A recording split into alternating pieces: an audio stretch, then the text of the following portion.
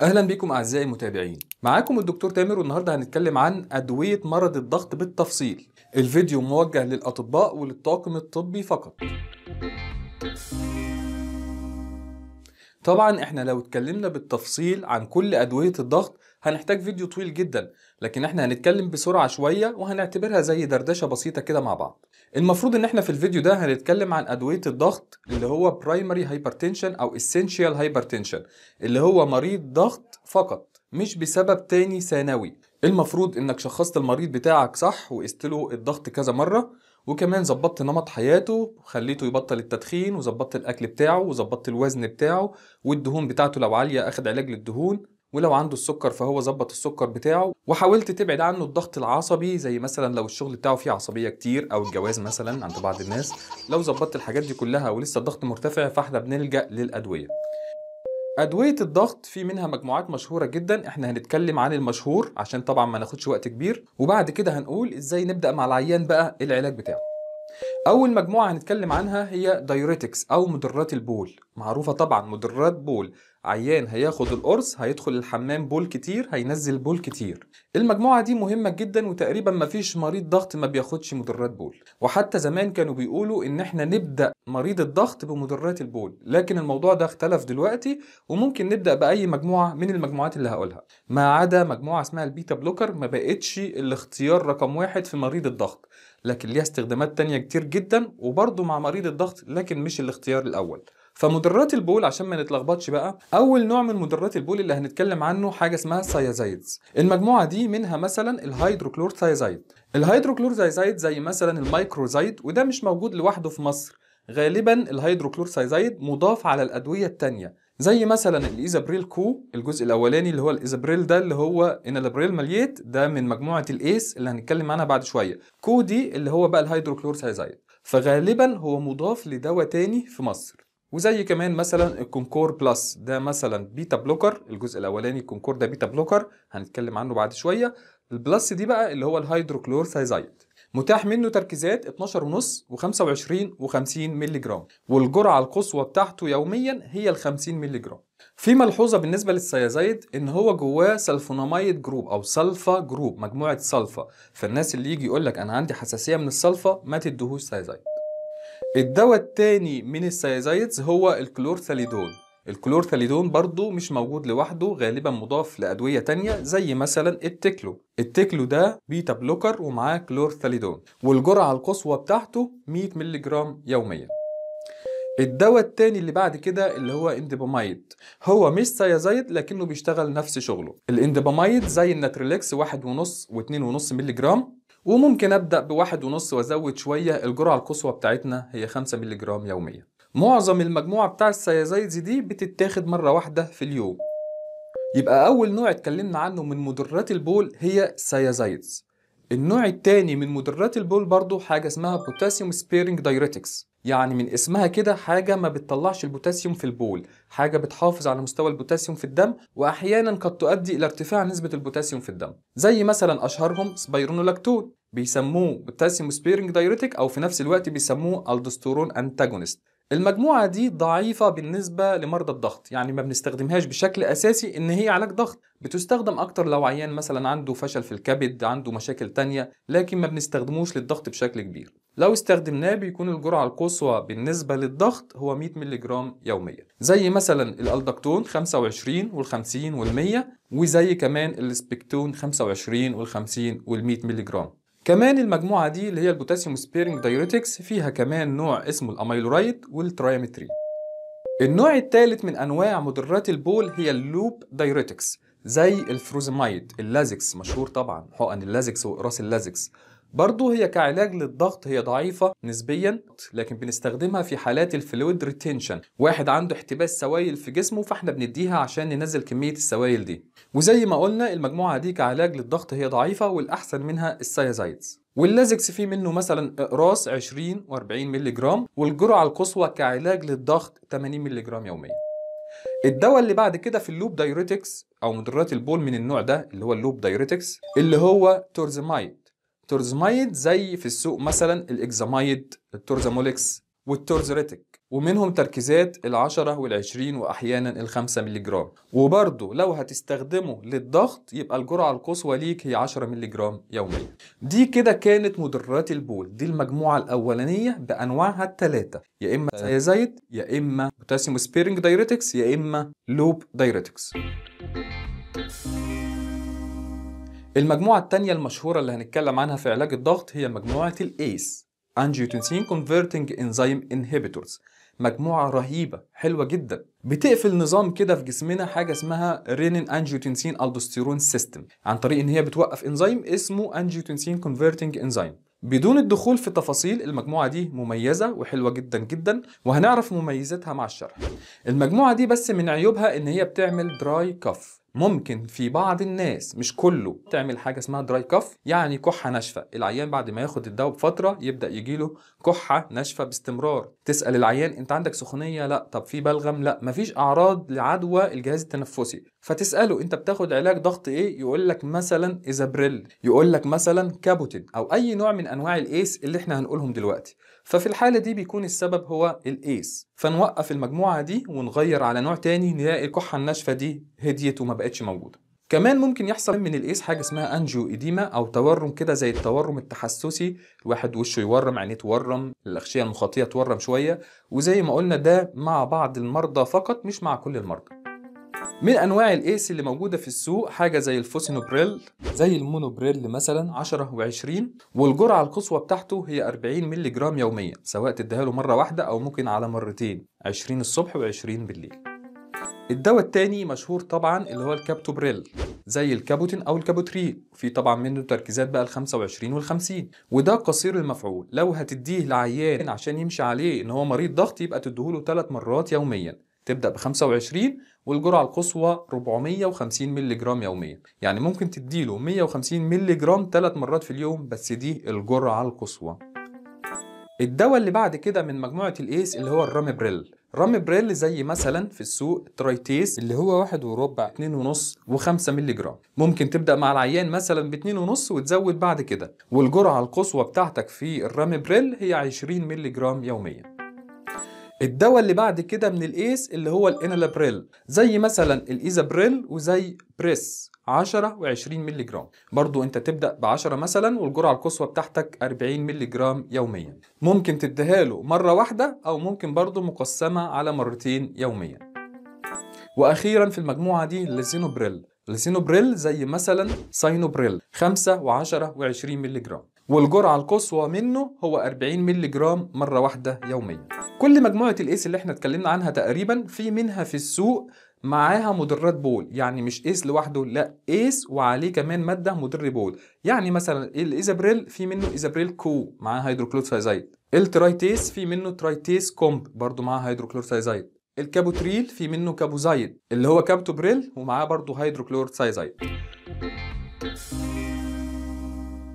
المجموعة الثالثة اللي هنتكلم عنها هي ال ARBs angiotensin receptors blockers هي شغلها بتوقف برضو عمل ال RAAS اللي هو ال renin angiotensin aldosterone system زيها بالظبط زي ال ACE ال ARBs زي ال ACE لكن بطريقة مختلفة شوية. ما بتعملش إلى حد كبير dry cough طريقة شغلها تفادت إن ال bradykinin يطلع كتير وبالتالي منعت حدوث ال dry cough فهي الميزة بين ال ARBs وال ACE الميزة الوحيدة أو الأشهر إن ال ARBs ما بتعملش كحة ناشفة. ونخلي بالنا في العلاج بعد كده لما نيجي نتكلم في ال combination أو لو إحنا هندي دوايين ما ينفعش ادي ARBs مع ACE. المجموعتين دول يعتبروا مجموعة واحدة. الأدوية اللي من النوع ده أول حاجة اللي هو ال losartan. losartan زي في السوق مثلا Amosar 25 و50 و100 والجرعة القصوى بتاعته هي 100 مللي جرام يوميا. وكمان في ال Amosar Forte. Forte ده يعني معاه برضه مدر بول يعني دوايين في نفس القرص. أو كمان زي اللوراز أو مثلا ال Losazide. ده برضه لوزرتان ومعاه hydrochlorothiazide في نفس القرص. الدواء التاني في المجموعة دي مجموعة ال ARBs هو ال valsartan ال valsartan اللي كان طلع عليه شوية كلام دلوقتي في مصر إن في شوائب مختلطة بالمادة الفعالة بتاعته. المشكلة يعني إن في مواد أو شوائب مضافة في المادة أو مخلوطة مع المادة لكن المادة نفسها ما فيهاش مشكلة. ال valsartan موجود في السوق مثلا زي ال Tareg 40 و80 و160 و320 وزي مثلا ال Vasotec 40 و80 وفي منهم برضو معاه مدرات بول زي ال Valsatens Plus. ممكن تبدأ مع العيان ب 80 ملغ يوميا وتزود بالتدريج الجرعة القصوى بتاعتنا 320 ملغ في اليوم. الدواء التاني من المجموعة دي اللي هي ال ARBs دواء اسمه olmesartan زي في السوق مثلا ال Erastapex اللي منه تركيز 5 و10 و20 ملغ كمان في موجود من الدواء ده مثلا لو انت حطيت عليه amlodipine amlodipine ده من ال calcium channel blockers مجموعه بعد كده هنتكلم عنها. فيبقى اسمه Erastapex Co Co يعني معاه amlodipine أو Erastapex Plus لو معاه hydrochlorothiazide اللي هو مدر البول من ال thiazides اللي اتكلمنا عنهم في البداية. أو كمان في Erastapex Trio اللي هم الثلاثه بقى مع بعض. والجرعة القصوى بتاعتك في ال olmesartan هي 40 مللي جرام يوميا. المجموعة الرابعة اللي هنتكلم عنها هي مجموعة اسمها beta blockers. وأول ما تقول للواحد أنا هكتب العيان beta blockers يقول لك selective ولا non selective فإيه يعني؟ إيه موضوع ال beta blockers؟ في مستقبلات beta beta 1 وبيتا 2 في واحد في القلب اللي هو البيتا 1 وفي مستقبلات في الشعب الهوائية اللي هي البيتا 2 فأنت لما تستخدم حاجة non-selective فأنت بتشتغل على القلب وعلى الرئة. فتعمل مع الشغل بتاعك اللي على القلب تعمل ضيق في الشعيبات الهوائية. وبالتالي ما نحبش نستخدمه شوية مع الناس اللي عندها حساسية صدر أو عندها COPD اللي هو الانسداد الرئوي المزمن ده. فتستخدم أحسن حاجة selective حاجة تشتغل على البيتا 1 بس اللي موجودة في القلب. ال selective من ال beta blocker لو اتاخد بجرعات عالية ممكن يبقى non-selective ويشتغل على الاثنين بالإضافة إن إحنا قلنا إن ال beta blockers ما بقتش اختيار أول لمرضى الضغط. يعني انت أصلا من الاساس لو عيان ضغط جاي لك ابعد عن ال beta blocker في البداية. كمان ال beta blockers ما احبش اديهم في عيانين السكر شوية الناس اللي عندها سكر. عشان هي بتهدي ضربات القلب وهي تعتبر حاجة اسمها sympatholytic sympatholytic يعني تقلل ضربات القلب والتوتر والحاجات دي. ودي مهمة في مريض السكر ليه بقى؟ عشان لو حصل له انخفاض سكر يحس بالأعراض دي ويعرف. فهي دي ممكن تعمل شوية mask أو إخفاء لهذه العلامات فالعيان ما يحسش شوية بانخفاض السكر. لكن دي برضو حالة مش absolute contraindication بالنسبة لل beta blockers أول دواء في ال beta blockers هنتكلم عنه اللي هو ال atenolol. ال atenolol ده selective beta 1 antagonist زي مثلا في السوق الأتينو أو التينورمين ال 50 وال 100 العيان ممكن تبدأ معاه ب 50 ملغ يوميا. الجرعة القصوى بتاعتك هي 100 ملغ يوميا. الدواء الثاني من مجموعة ال beta blocker اللي هو metoprolol. زي مثلا في السوق سيلوكين زوك بتركيز 25 50 100 200 ملغ ممكن تبدأ مثلا ب 50 وتبدأ تزود تدريجيا على فترات زي ما هنقول والجرعة القصوى بتاعتك هي 400 ملغ يوميا. وال metoprolol ده هو برضه selective beta 1 blocker الدواء اللي بعد كده من ال beta blocker ز اللي هو بروبرونالول وده non-selective non-selective يعني بيشتغل على بيتا 1 وعلى بيتا 2 زي مثلا في السوق الاندرال ال10 وال40 ممكن تبدأ معاه لو هتديه لمريض ضغط بجرعة 40 ملغ مرتين يوميا والجرعة القصوى بتاعتك هي 640 ملغ يوميا. الدواء اللي بعد كده اللي هو البايسوبرولول ده أشهرهم تقريبا وده أحسنهم من ناحية ال selectivity يعني بيختار البيتا 1 بشكل أكبر. وزي ما قلنا ال selective من ال beta blocker لو اتاخد بجرعات عالية ممكن يبقى non-selective ويشتغل على الاثنين لكن من أفضلهم البايسوبرولول اللي هو في السوق مثلا زي الكونكور سواء 2.5 5 10 أو البيزوكارد ممكن مثلا تبدأ للعيان ب 5 ملغ يوميا والجرعة القصوى بتاعتك هي 20 ملغ يوميا. في بقى كمان أدوية بتشتغل مش بس non-selective beta blocker لا ده بتاخد الألفا كمان في سكتها. يبقى اسمه non-selective beta blocker و alpha blocker الأدوية دي مثلا زي اللابيتالول اللي هو اللابيبريس ال 100 وال 200 وده مش موجود بشكل كبير مش متوفر عندنا في مصر بشكل كبير. ممكن تبدأ 100 مرتين في اليوم والجرعة القصوى بتاعتك هي 2400 ملغ في اليوم. النوع الثاني اللي هو الكارفيدولول برضه بيقفل البيتا وبيقفل كمان ال alpha receptor. زي مثلا الكارفيد اللي هو 6 وربع 12 ونص 25 ممكن تبدأ لمريض الضغط بتاعك ب 6 وربع مرتين في اليوم والجرعة القصوى بتاعتك هي 25 ملغ يوميا. المجموعة الخامسة من أدوية الضغط اللي هي calcium channel blockers برضه أول ما يقول لك calcium channel blocker يقول لك هو dihydropyridine ولا non-dihydropyridine فمثلا الدواء المشهور من ال calcium channel blockers اللي هو ال amlodipine اللي هو زي الالكابريس والريجيكور والنورفاسك اللي هو منه تركيزات 5 و10 ده من مجموعة dihydropyridine من ال calcium channel blockers ممكن أبدأ ب 5 ملغ يوميا والجرعة القصوى بتاعتنا هي 10 ملغ في اليوم. الدواء التاني اللي هو ال nifedipine ده برضو dihydropyridine وده موجود في السوق باسم إبيلات 10 و20 ممكن تبدأ للعيان ب 20 يوميا والجرعة القصوى بتاعتك هي 90 مللي يوميا. أما ال non-dihydropyridine زي مثلا ال diltiazem وال verapamil ودول ما بيتكتبوش كتير كعلاج ضغط. ال diltiazem في منه 60 90 180 ممكن تبدأ ب 90 مللي جرام يوميا والجرعة القصوى بتاعتنا 480 مللي جرام يوميا. أما ال verapamil ال verapamil ده زي الأيزوبتين هو برضو non-dihydropyridine يعني من ال calcium channel blockers بس نوعه non-dihydropyridine في منه مثلا الايزوبتين 80 وفي الايزوبتين retard 240 retard دي يعني ممتد المفعول. فانت لو هتبدأ بقصير المفعول فانت ممكن تدي 80 مللي جرام 3 مرات يوميا. أما لو هتدي ال retard فانت ممكن تبدأ ب 120 مللي جرام يوميا وممكن نزيد إلى الجرعة القصوى اللي هي 360 مللي جرام يوميا. دول كانوا أهم المجموعات المشهورة اللي نحفظهم زي اسمنا. أعرفهم diuretics مدرات بول ACE و ARBs calcium channel blockers وال beta blockers لكن في مجموعات تانية كتير زي مثلا ال vasodilators اللي هم بيعملوا اتساع في الأوعية الدموية زي ال hydralazine مثلا. لكن دول ما بيتكتبوش كتير لمرضى الضغط. كمان مجموعة اللي هي central acting أو ألفا 2 agonist زي مثلا methyldopa. اللي هو عندنا في مصر Aldomet اللي هو 250 و500 أي واحدة حامل يجي لها ضغط يقولوا لها خدي Aldomet على طول ثلاث مرات في اليوم. طبعا إحنا هنبقى نعمل حلقة عن أدوية الضغط في الحمل. إيه اللي ممنوع واللي مش ممنوع؟ وعشان كده ما تنساش ال ACE وال ARBs ممنوعين تماما في الحمل. غير كده في كلام عادي. لكن ال ACE وال ARBs تحطها حلقة في ودانك. ACE و ARBs ممنوعين في الحمل تماما. فال Aldomet أو ال methyldopa الجرعة القصوى بتاعته هي 3 جرام يوميا. إحنا دلوقتي عرفنا أشهر المجموعات. العيان جالك هتبدأ معاه إزاي؟ زي ما قلنا أنت اتأكدت من التشخيص وقست له الضغط كذا مرة وقست الضغط صح وظبطت له نمط حياته. وزي ما قلنا ظبطت الدهون السكر الوزن بقى يمارس رياضة ظبط الأكل بتاعه ما بقاش ياكل حوادق كتير ابتعد عن التدخين وقلل الكحوليات أو منع الكحوليات تبدأ معاه إزاي؟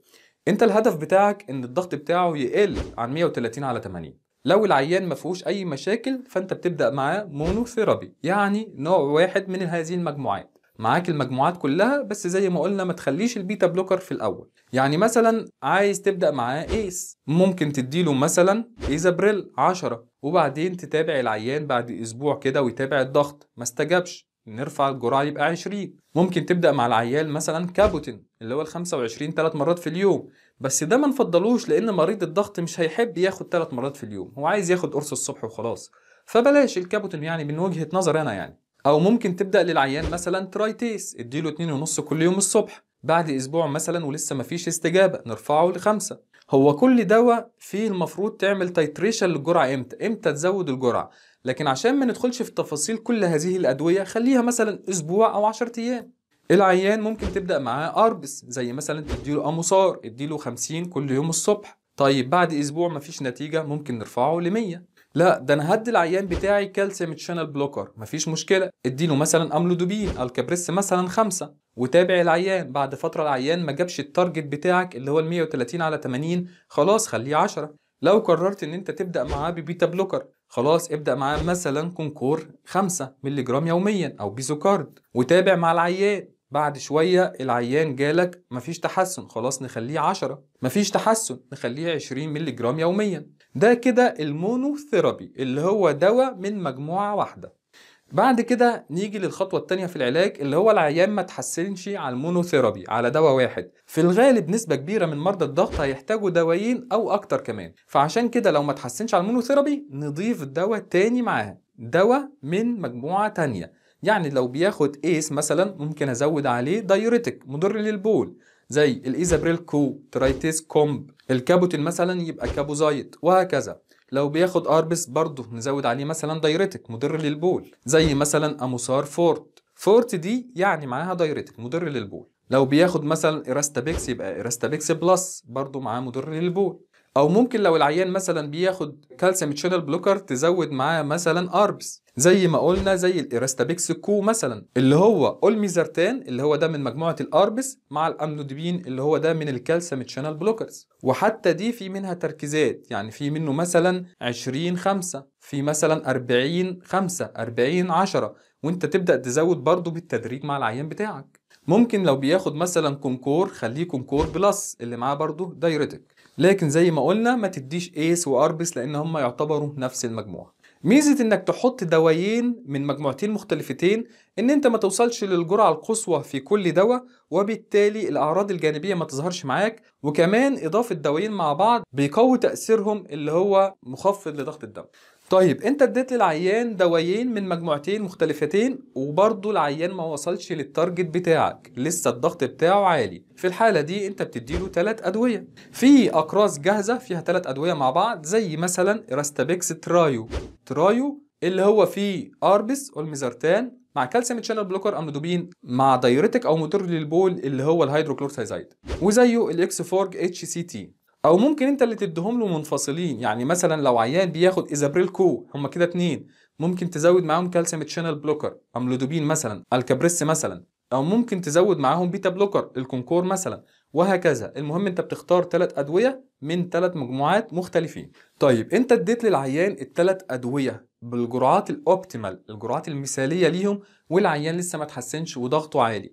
كده في الحالة دي إحنا بنسميه resistant hypertension بس بشرط إنه يكون بياخد الأدوية ومنتظم عليها وتكون الأدوية بال optimal dose الجرعة الصحيحة أو الجرعة المناسبة والعيان ما تحسنش. في الوقت ده نقعد نفكر بقى في العيان. هل العيان ده عنده secondary hypertension يعني عنده سبب تاني هو اللي رافع الضغط فلازم أدور عليه؟ زي الأسباب دي اللي ممكن تعمل ارتفاع ضغط الدم؟ هل المريض بياخد أدوية تانية تكون بترفع الضغط؟ يعني أنا أديله أدوية من ناحية تنزل الضغط وهو بياخد أدوية تانية ترفع الضغط. زي مثلا الأدوية دي اللي من أشهرها كورتيزون من أشهرها حبوب منع الحمل. هل العيان بتاعي ده عنده حاجة اسمها white coat syndrome؟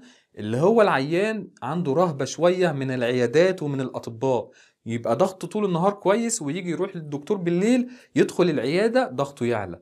طب ده أعرفه إزاي؟ أعرفه إنه يقيس بنفسه في البيت عشان يبقى بعيد عن الضغط والتوتر ده نلاقي ضغطه طول النهار مظبوط لكن لما يجي لي العيادة ضغطه يعلى. فلازم آخد بالي من النقطة دي. كمان أشوف هل العيان التزم بالتعليمات فعلا ونزل وزنه وبقى يمارس رياضة وابتعد عن الكحوليات وابتعد عن التدخين وابتعد عن الأكل الحادق والسمين في الأكل بتاعه وابتعد عن الضغط العصبي ولا لأ. دلوقتي هقول لكم شوية نصايح كده أو خطوط عريضة كده في العلاج. لو عيان ما فيهوش أي مشاكل وهتبدأ معاه علاج ضغط لو هو أقل من 55 سنة كويس أوي إنك تبدأ معاه ACE أو ARBs لو أكتر من 55 سنة ابدأ معاه calcium channel blockers لو عيان عنده حساسية صدر أو انسداد رئوي مزمن أو سكر ابعد في البداية عن ال beta blocker. المجموعات كتير ما حبكتش يعني ال beta blocker. ولو إن لو ليه indications ودواعي استعمال تانية زي مثلا مشاكل في القلب هياخدهم برضه. لكن في البداية ابعد أنت. لو عيان عنده سكر فكويس قوي إنك تبدأ معاه ACE أو ARBs لأنه بالإضافة إن هو بيعالج الضغط هو كمان إلى حد كبير بيحمي الكلى من ال diabetic nephropathy اللي بتحصل مع السكر. ده حتى العيان لو عنده سكر وضغطه كويس وبدأ يحصل مع ال diabetic nephropathy بيدوه ACE أو ARBs برضه. عيان هتديله علاج مدر للبول أو فيه مادة مدرة للبول خليه الصبح أحسن. أي نعم ممكن يكون ممتد المفعول على مدار 24 ساعة لكن تأثيره بالنهار هيكون أقوى عشان بالليل يعرف ينام شوية. عيان عنده فشل في القلب من النوع اللي اسمه heart failure with reduced ejection fraction عمل أشعة اللي هي موجات صوتية على القلب وقالت إن ال ejection fraction بتاعه قليل ومعاه heart failure أو فشل في القلب. العيان ده ما تديلوش calcium channel blocker من النوع اللي هو non-dihydropyridine اللي هو يعني ال diltiazem وال verapamil. عيان جاله قبل كده جلطة في المخ أو TIA اللي هي جلطة مؤقتة يعني أو جلطة وراحت بسرعة العيان ده تديله ACE أو ARBs كويسين جدا أو diuretic أو مزيج منهم. يعني مثلا ACE مع diuretic أو ARBs مع diuretic إنما ACE و ARBs إحنا قلنا ممنوع. لو ست حامل ومعاها ارتفاع ضغط الدم جريمة إنك تدي ACE أو ARBs أو حاجة اسمها direct renin inhibitor المشهورين ال ACE وال ARBs أوعى تدي لست حامل ACE أو ARBs. ممنوع بشكل عام إن أنت تدي ACE مع ARBs أو مع direct renin inhibitor زي ما قلنا قبل كده. دي كده كانت دردشة بسيطة عن أدوية الضغط وإزاي بنستعملها مع العيان. لو في أخطاء فاعذرونا الكلام مختلف حتى في المصادر الأجنبية. إن شاء الله هنبقى نعمل سلسلة كل مرض مع الحمل. يعني مثلا الحمل مع السكر الحمل مع الضغط الحمل مع الغدة وهكذا إن شاء الله. وفي النهاية أحب أشكركم اشتركوا في القناة واعمل like و share وشكرا لحضراتكم.